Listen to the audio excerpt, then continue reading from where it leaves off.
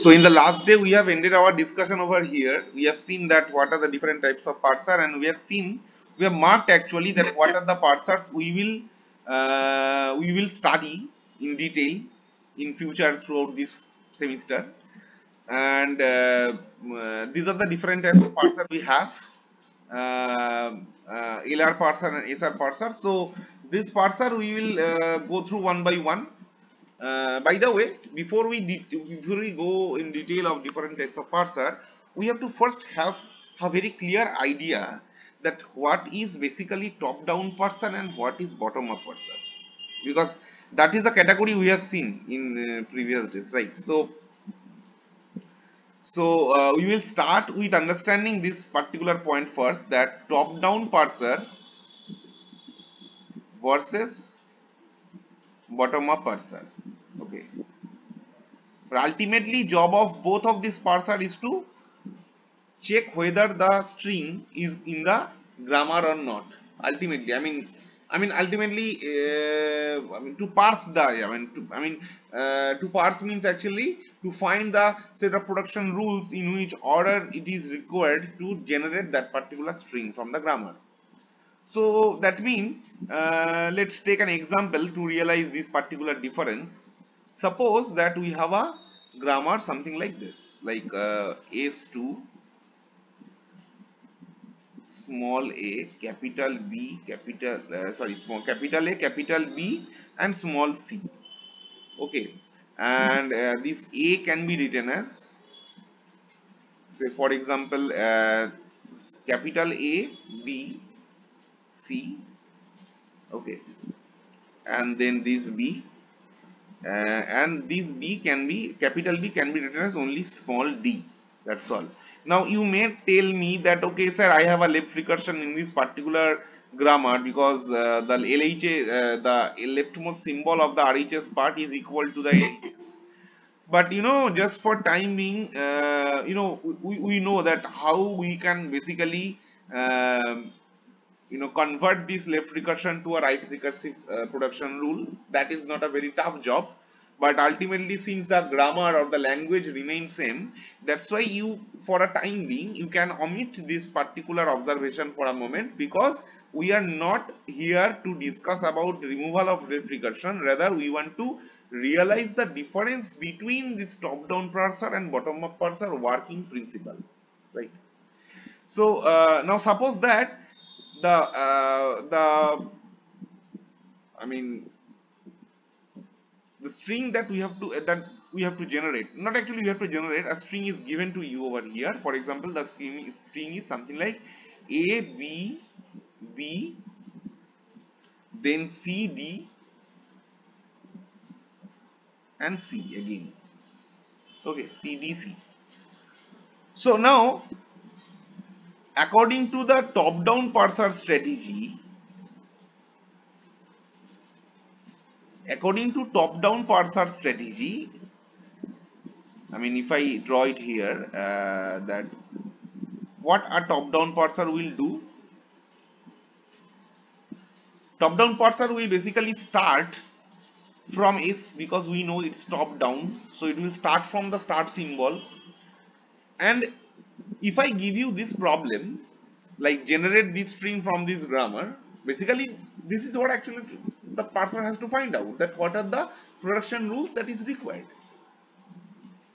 So now definitely I have only one option here that is to capital small a capital B capital C. That means definitely the the derivation of this parsing parse tree will be something like small a then capital B then capital uh, I'm sorry not capital B it should be capital A. It should be capital A. And it should be capital B and it should be capital C. And from this uh, uh, this particular uh, level we can uh, we ha we have you see ultimately we have to generate A B B C D C so we can easily understand, uh, by the way, this C is not a capital C, it's a small c. So I had a mistake here. It should be small. There is no more uh, derivation from this side. right so the, but this a has to be derived now you see this day has two part capital a b c and small b so from this string you can understand one thing that you see I have 2b over here. This 2b cannot be generated with only a to small b option. Because generating small b have only one option that is you have to use this production rule. Either a to capital A small b small c or capital A to small b. By only this two production rule you can generate small b in the string. Other production rules does not generate small b but how many whether I have to use this one or this one? So intuitively you can say that oh I have 2b over here. That means definitely I must have one more derivation from this side. That is capital A to capital A then small b then small c. And you see I don't have any option over here to uh, you know to extend this capital B. I have only one option. That is I can do it to capital sorry small d and then you see you have got this b and you have this a and in between a and second b I have a this b and this b can be generated by a to small b over here. Something like this. Right. So you can have something like direction of this one like this. Like you have started from uh, uh, from the start symbol and you have generated intuitively this one. Right. So that mean that means basically what is the main task of the top down parser you can say? Like if i if i write it in a you know in a in a if i want to say it verbally then what i can say? That uh, that top down parser this particular parser what this parser is basically doing? So just a minute. Uh, so this parser is basically you can say that if we have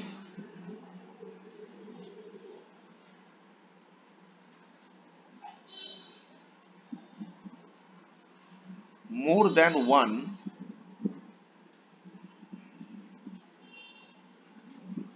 alternative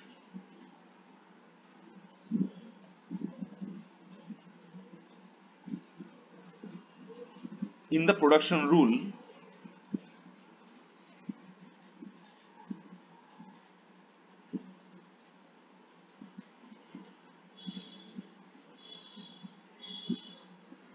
for a particular non-terminal.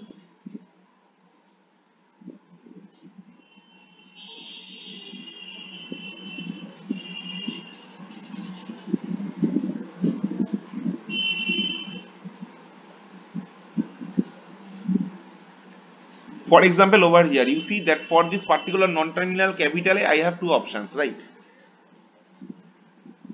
We have to decide that which one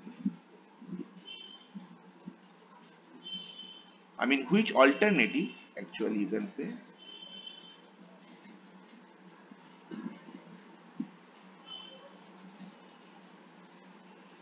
Should I use? This is a question actually we have to answer somehow right? Obviously with respect to some deterministic approach.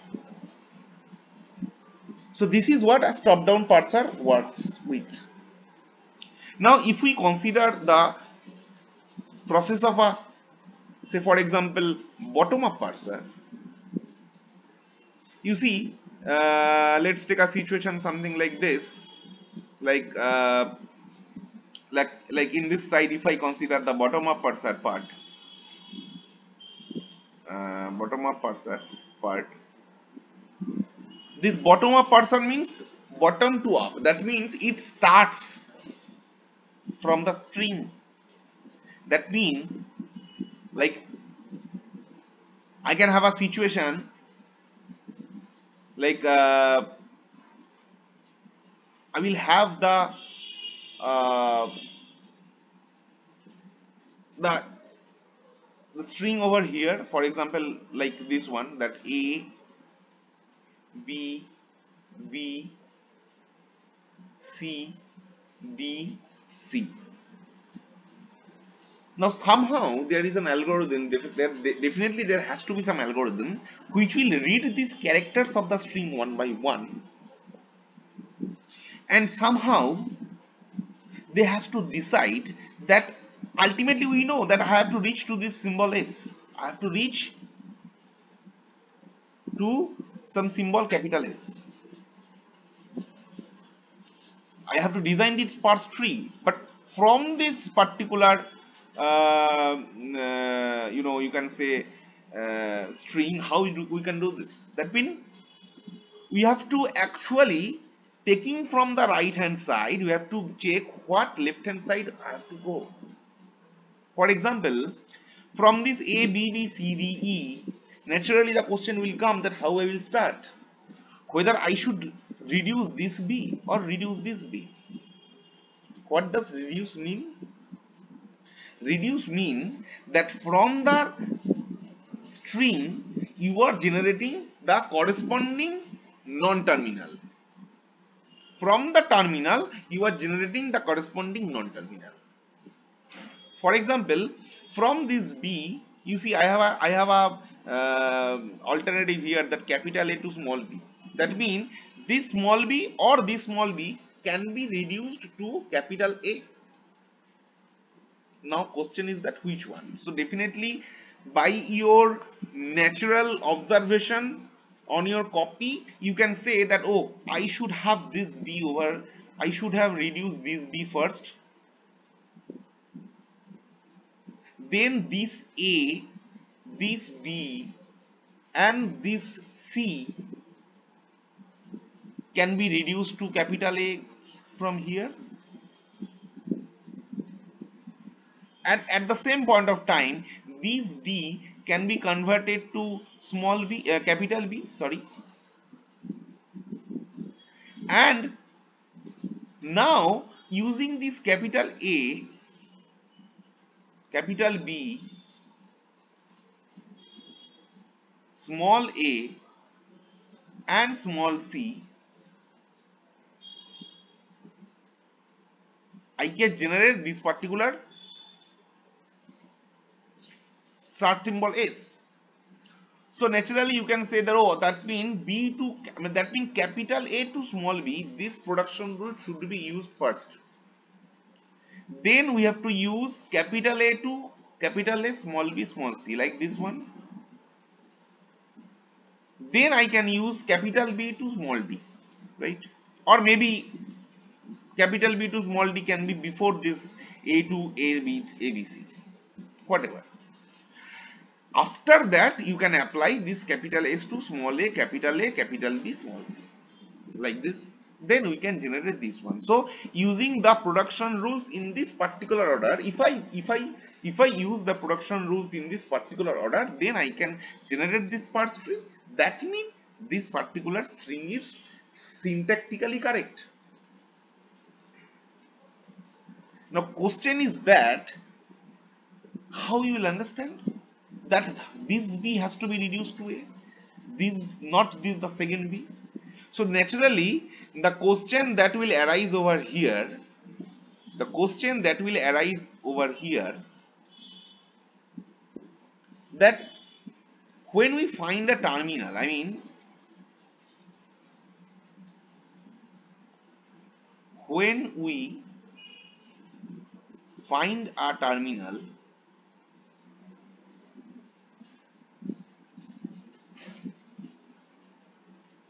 we have to understand should we reduce it?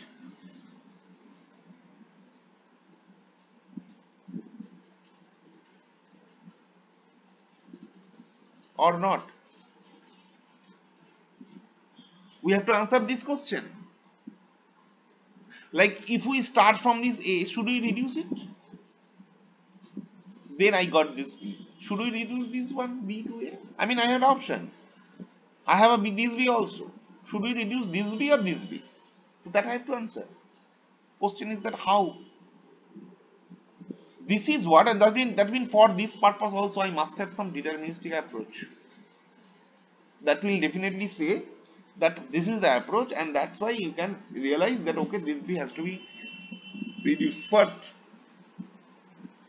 So we will realize these different approaches for the algorithms, but this is the main difference with respect to the working principle of the top-down parser and bottom-up parser. Now, in case of top-down top-down parser, obviously we we will start with this particular top-down parser at the uh, at the very beginning. Okay, so we will go through this LL1 LL1 parser first, then we will go through the other parsers. But before we dive into the working principle of a LL1 parser, the basic difference between top down parser and bottom up parser should be very clear to you.